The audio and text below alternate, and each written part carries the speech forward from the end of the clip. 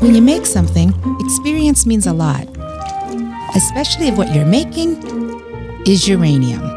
Tell Honeywell it's time to end the lockout and bring back the experienced USW workers. Make sure our communities are safe. Visit experiencematters.usw.org.